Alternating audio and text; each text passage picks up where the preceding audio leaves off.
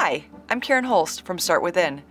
We're all about inspiring and enabling you to rise within your company or organization to launch new products, services, or solutions. In our last video, we looked at how Amazon continues to innovate in the groceries business, from delivering to people's homes to setting up its own physical grocery store.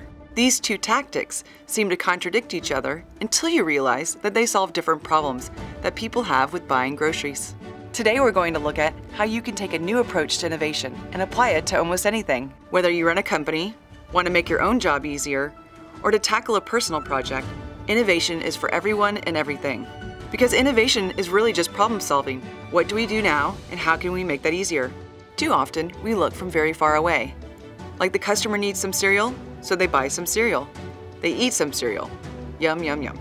But the process of buying cereal is a job filled with tasks that a customer has to do, and it involves many steps.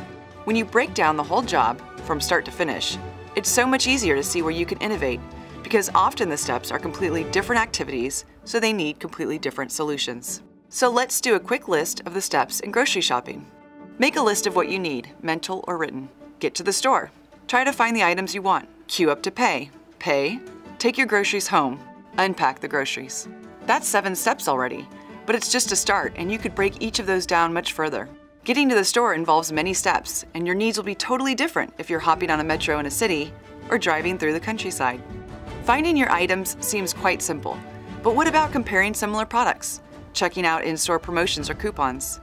You could create an app or a new system for every one of these steps within Steps. So you can totally apply this to your customers or your department or your own personal projects, whatever you want. Take a good look at the whole job being performed and break it down carefully into all the steps it takes. Then, step back, and you'll see which steps are causing the most problems. Your innovation could just be a matter of fixing those one or two steps. Give it a try. Think about some small job you don't enjoy and see if you can really isolate that one step in the job that bugs you most. Hopefully, that will let you know how to fix it. Let us know how this works in the comments below.